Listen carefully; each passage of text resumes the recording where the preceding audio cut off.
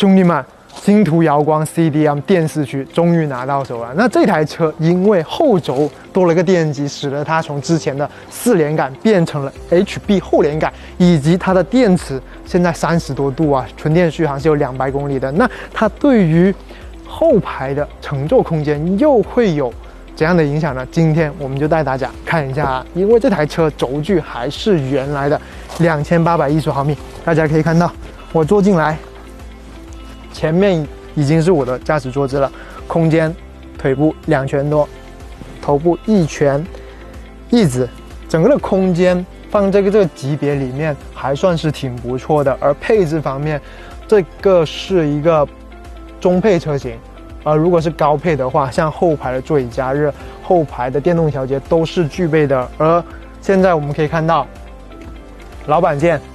还有这个储物空间以及下面。有一个 A 口，一个 C 口啊，这个配置呢，满足我们日常使用是没有问题的。另外，我发现，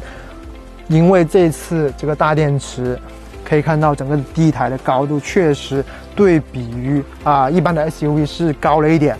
而我的身高又是达到了一米八大长腿，所以可以看到，确实这个承托并没有那么的到位。如果它的这个座椅的高度啊再做高一点。因为其实它的口部空间还是蛮充足的，包括它这个座椅靠背又是可以往后倒的，所以如果把这个座椅啊角度更高一点，或者是啊它的倾斜角更高一些，对于高个子的用户，整个的乘坐体验、整个的舒适度就会更加的好啊。接着我们再来到它的后备箱，看一下。因为啊，它是多了一个后轴电机，以及变成了 HB，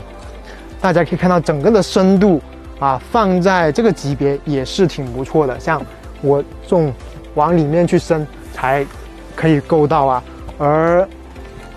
整个的配置呢，如果加上一些小挂钩，整个的实用性就会更加的好了。打开这个盖板，可以看到像这种充电枪。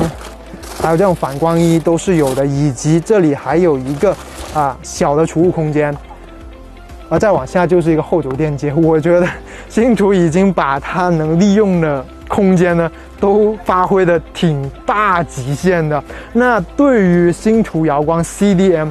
电四驱这台车的空间表现和舒适度表现，对于啊日班的家庭去使用的话，以及我们平时出去玩放一些露营装备，或者是啊节假日啊拿一些啊特产什么的，这个方面呢，我觉得还是够用的。那你们觉得呢？